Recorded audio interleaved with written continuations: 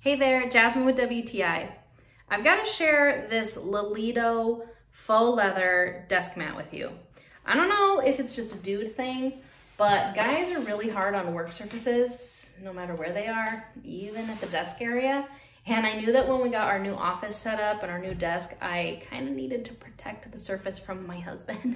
He's a heavy handwriter and I didn't want him pressing into the desktop. And then he brings coffee in here. It's mostly his workspace, and so there's spills and things like that. So we needed to really protect the desk. We chose this LOLLIDO because of the light brown. It just went with our style. It's reversible, which is really cool. It has like a cork backing.